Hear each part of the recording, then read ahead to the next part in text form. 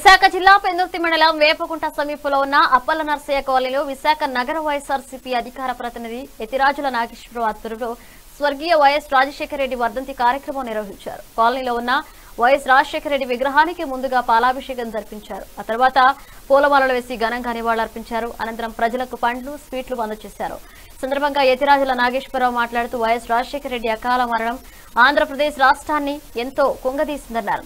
ఆయన హయాంలో ఈ రాష్ట్రం ప్రగతి పదంలో ముందుకు వెళ్ళిందని అన్నారు. ఈ కార్యక్రమంలో వైఎస్ఆర్సీపీ నాయకులు గోవింద్ పట్నాయక్ పలువురు వైఎస్ఆర్సీపీ నాయకులు కార్యకర్తలు పాల్గొన్నారు.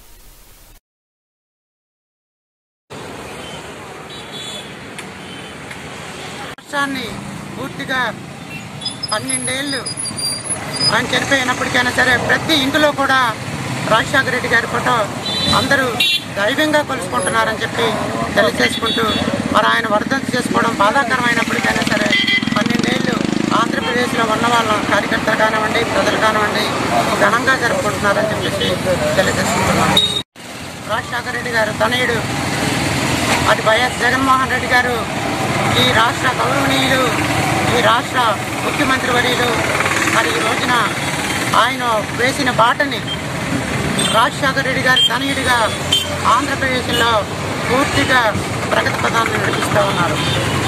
అంతేకాకుండా ఆయన కంటే దివంగత నేత రాజశేఖర రెడ్డి గారి కంటే ఒక అడుగు ముందేసి విద్యలో కానివ్వండి ఆరోగ్యంలో కానివ్వండి అనేక మహిళల ముందుకు నడిపించడంలో కానివ్వండి జగన్మోహన్ రెడ్డి గారు పూర్తిగా ఆంధ్రప్రదేశ్లో ప్రగతి పదాన్ని నడిపిస్తున్నారు.